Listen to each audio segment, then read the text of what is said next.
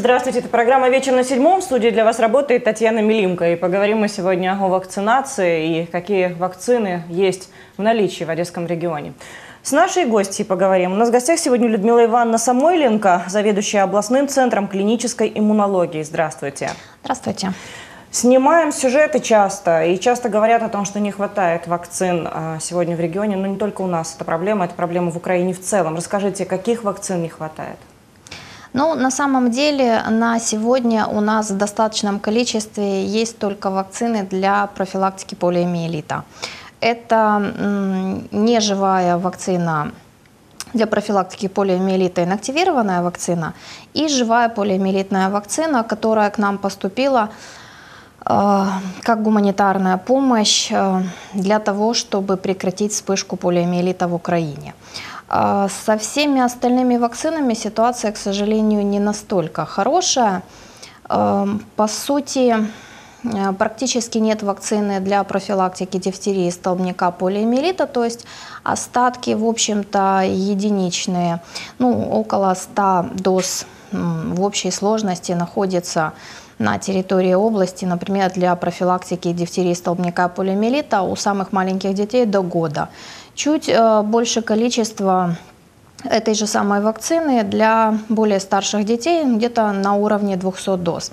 Ну, так, чтобы было понятно... Норма какая, а, да, интересно. А, в общем-то, в год у нас рождается около, ну, где-то в среднем около 30 тысяч детей. Вот, значит, в среднем нам нужно где-то ну, 60 тысяч доз. А да? у нас, получается, на 30 а нас... тысяч детей у нас, э, получается, 200 или 100 вакцин? Да, а у нас имеется, да, в остатках буквально вот э, сотни доз. Э. А с чем это связано? Почему нет новых вакцин? У нас нет производства в Украине, либо это связано с тем, что с Россией сейчас происходят такие политические, на, война, грубо говоря? Ну, на самом деле, э, за последний год, 15 год я имею в виду, мы не получали централизованно вакцин. Связано это ну, с достаточно большим количеством факторов. А, в последнее время мы работали а, вакциной для профилактики дифтерии, столбняка и полиомиелита и коклюша. Мы работали вакцинами бельгийского и французского производства. За счет того, что у них были определенные проблемы на производстве, на какой-то промежуток, ну и плюс у нас были, видимо, в стране финансовые проблемы, и было недофинансирование программы иммунопрофилактики. То есть вот все это было связано, видимо, в комплексе, вот повлекло за собой такие последствия. Вот. Чуть лучше ситуация у нас получается с вакциной а, для профилактики кори, э, краснухи и эпидпаратита – ее в общей сложности где-то, ну, хотя бы 5% от потребности. Вот. Ну и плюс э, есть информация, что эта вакцина в ближайшее время у нас появится. Вот. И такая же информация есть по поводу вакцины от гепатита Б. Она тоже у нас есть ну, в не очень большом количестве от потребности, но она хотя бы есть. И те дети, которые нуждаются в этой вакцинации и родители, которых согласны на эту вакцинацию, они, в принципе, могут пойти в поликлинику и привиться. Ну и защитить хотя бы своих детей от кори, краснухи, эпидпаратита, гепатита Б. А что касается таких вакцин для самых маленьких, как БЦЖ? Ну, с вакциной БЦЖ, к сожалению, ситуация тоже достаточно грустная. А, на сегодняшний момент у нас в остатках где-то в общей сложности около 500 доз. Потребность в вакцине достаточно большая. Э, это, это ведь обязательная прививка, правильно, еще это в роддоме? Ну да, это обязательная ну, Если нет показателей, там очень редкие случаи, когда не делают, но в основном это показательная, э, обязательная. Это обязательная. То есть первые э, три дня жизни да. нужно сделать эту прививку. Да, точно но... так же, как в принципе в первые сутки необходимо сделать прививку от гепатита Б, но почему-то вот как-то к профилактике от гепатита Б у нас относятся не очень так скажем, доверчиво. Угу. Вот. Э, по профилактике, конечно, туберкулеза все больше видят туберкулез, его боятся больше, чем гепатита Б, и, естественно, как бы более так лояльно настроены к вакцинации. Вот. Но есть такая, за последний год, за 2015 год с вакциной БЦЖ у нас э, было небольшое количество поставок, то есть в общей сложности в область пришло где-то в районе 12 тысяч доз. А, что позволило нам привить наших детей на 24%. Вот. Конечно, это очень мало и очень низко. И за счет этого, ну, за счет того, что вакцины было очень мало, основной, э, основной контингент, который прививался, это были, конечно, новорожденные дети. Потому что вакцина БЦЖ защищает больше всего новорожденных детей. Мы, то есть мы больше всего боимся проблем именно у детей маленьких до года. Поэтому, естественно, приоритет отдавался детям до года. Но есть такая достаточно позитивная новость. Э, э, город закупил БЦЖ около 60 тысяч доз. Этого будет достаточно на вакцинацию 30 тысяч детей. При средней рождаемости в городе где-то 13 тысяч э, есть надежда, что э, дети города ну, это именно вот за счет города, то есть это не централизованная поставка. Ну, я вот э, читаю Униан, да, э, авторитетное достаточно издание информационное, пишут, что э, полтора почти миллиона гривен было выделено на Один миллион двести тысяч э, гривен было выделено на покупку этой вакцины. Угу. Вот, это 60 тысяч доз, это достаточное количество вакцины для вакцинации детей города. Грустно то, что только для детей города будет использоваться данная вакцина, но, в общем-то, как бы хотя бы появилась возможность ее приобрести не централизованно, и вполне возможно, а, что местные районные администрации будут тоже пытаться приобрести эту вакцину для вакцинации ну, собственных детей. Хотя... Она сейчас находится в Киеве, а скажите, как происходит процесс попадания ее потом в Одессу? Насколько, в Одесс, я, знаю, а, насколько я знаю, она у нас в Одессе. Я не готова однозначно ответить на этот вопрос, но даже если она находится на складе в Киеве, она доставляется с соблюдением холодового режима, то есть все как положено. А, она доставляется Э, пакуется в специальные термо, термосумки, термо, с термоконтейнерами и, естественно, соблюдается, доставляется с соблюдением холодового режима. Ну, звучала информация, что в ближайшие дни, то есть э, следующая неделя, она должна появиться в поликлиниках в роддомах города Одессы. Ну вот 60 тысяч доз, это на год где-то, да? Для города Одессы, для города Одессы, э, в общем-то, да. Почему? Потому что это 30 тысяч детей, при рождаемости где-то 13 тысяч. Этого будет достаточно для новорожденных детей и для тех детей, которые недополучили вакцину ввиду отсутствия ее. А что касается такой вакцины, как Индирап, совсем недавно у нас была вообще страшная новость о том, что бешеная собака покусала семью, угу. мужчину, женщину, и еще шесть человек были в контакте с этой собакой, угу. то есть кормили, слюна попадала, они тоже в зоне риска. Вот угу. расскажите, во-первых, может быть, вы знаете о судьбе этих людей, удалось ли найти Индирап, потому что удалось. мужчина поехал в Киев его искать самостоятельно, но нигде его не было, потому что там собирали буквально по миллилитрам, миллиграммам для того, чтобы э, провакцинировать, и не дай бог, конечно, человек не умер. Расскажите, пожалуйста, об ну, этой истории. На самом деле это была немножко, так скажем, неорганизованная работа, ну, на уровне, я не могу, собственно говоря, даже сказать, э, на чьем уровне была допущена ошибка. То есть э, в Одесской области на сегодняшний момент 1600 э, доз вакцины Индирап. И э, так как э, эта вакцина, это экстренная профилактика бешенства, так как это, в общем-то, смертельно опасное заболевание, то, естественно, ну, вакцина выделяется и при необходимости она перераспределяется. И просто нужно было выполнить определенные действия, которые ну, вот, были сделаны с запозданием. То есть эти пациенты получили вакцину, однозначно они все Успели, привиты. Да, там? да, то есть они все привиты, и я думаю, все будет в порядке абсолютно, потому что они, на них было выделено достаточное количество вакцины. А вот. Э, практически я, чтобы не быть голословной, я сейчас скажу, в каких только районах у нас нет вакцины Индираб. А, вот. То есть э, где-то около 5-6 районов у нас пока не имеют вакцины Индираб. Но опять же, есть э, такое понятие, что это вакцина для экстренной профилактики, да, то есть это оказание помощи по жизненным показаниям. Поэтому, естественно, если в области есть эта вакцина, то происходит просто перераспределение. То есть э, районная администрация должна написать письмо, и на основании этого письма выделяется вакцина, она просто перераспределяется. То есть есть вакцина по остаткам, она есть в городе Одессе. Эм, так как, к сожалению, количество бешеных животных достаточно увеличилось, каждый хочет э, обеспечить э, свою, угу. ну, в общем-то, свою территорию, да, конечно. свою территорию, естественно, хочет обеспечить достаточным количеством вакцины. Поэтому мы пока ведем переговоры, чтобы вакцина была в резерве. Вполне возможно, что ситуация решится, но до тех пор, пока в области есть хоть одна доза вакцины, каждый нуждающийся, обратившись или в департамент ну, э, здравоохранения, да, он, естественно, получит эту вакцину. То есть... Помимо Индирапа там же еще идет какая-то вакцина вспомогательная, да, которая там в комплексе вакцина, тоже, или что Там это? нужен иммуноглобулин. Да. Иммуноглобулин, его у нас достаточно долго не было, на сегодняшний момент он тоже у нас появился, и будет э, приказ о его распределении на территорию. А То чего есть... производства, скажите, это Индия? Или... Знаете, я не готова сказать. Угу. Я вот по э, иммуноглобулину я информацией, к сожалению, не владею.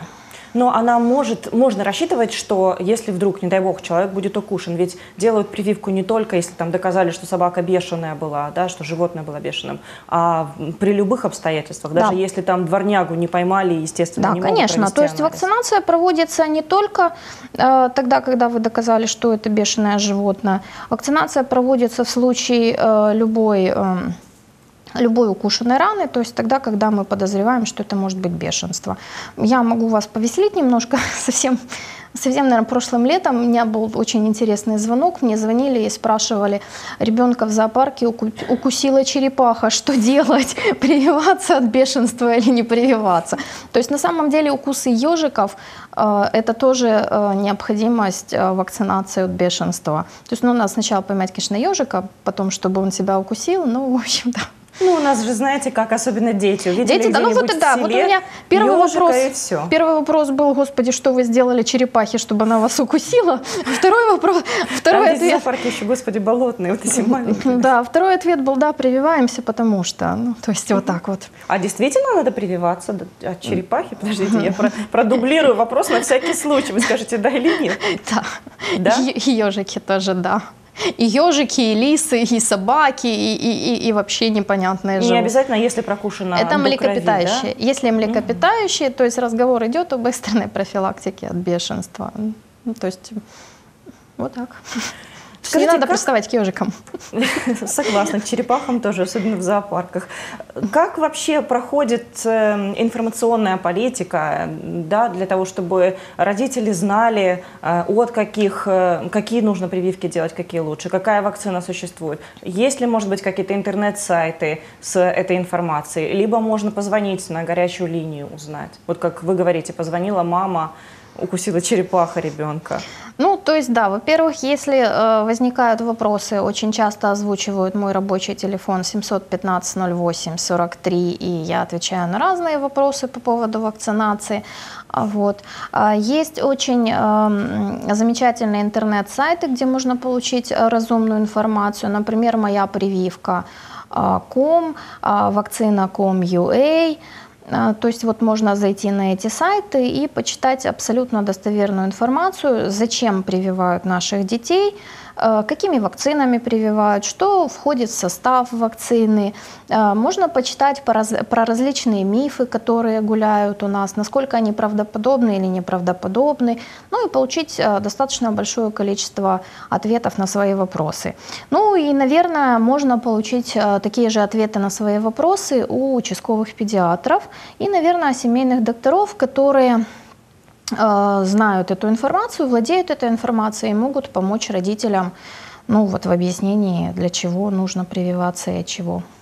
Вы знаете, вот мы сейчас говорим, вакцины заканчиваются, да, и вроде бы как уже даже чуть-чуть отошли от темы на информационную там политику, угу. например, да, просвещение людей. Но а, тем не менее мы как а суть-то вот того, что не будет вакцин, что, что произойдет, скажите?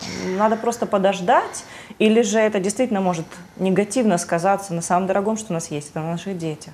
Ну, к сожалению, э, никто не может предугадать, когда случится, если, не дай бог, случится эпидемия. Да? То есть мы реально очень боимся, что э, будет неблагоприятная ситуация с дифтерией. Да? То есть Вот э, два случая полиомиелита у нас уже были, слава богу, полиомиелит. В Одесском регионе? Нет, нет, нет, нет. На это то, что было на Западной было. Украине, угу. да. Но так как полиомиелит – это болезнь, которая характеризуется, может характеризоваться бессимптомным носительством, да, то есть на одного заболевшего, ну почему стали из-за двух детей прививать всю Украину, да? То есть, угу. потому что по параметрам ВОЗ это считается вспышкой. То есть почему? Потому что на одного э, вот заболевшего, парализованного ребенка 200 человек бессимптомного носительства.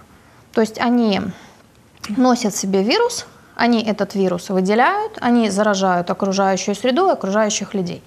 Вот.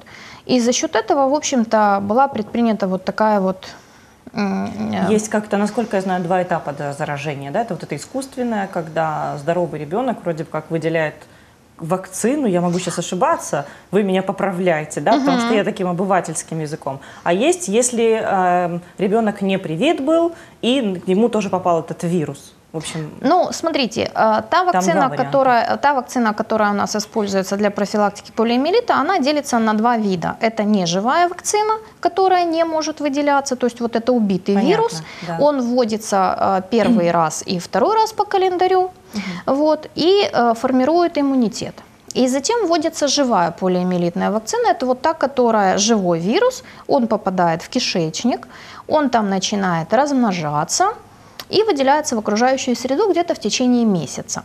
Но это вирус вакцинный, да, то есть он безопасный ну, мы же не заражаем наших детей Но полиомиелитом, да? Да, и окружающих он... тоже, если ребенок не да, привит.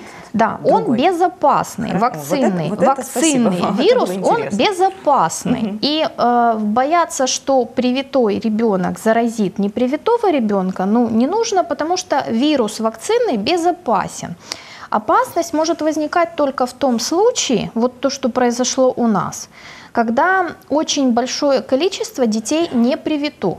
То есть и ребенок, который не привит, получает вакцинный вирус от другого ребенка, да?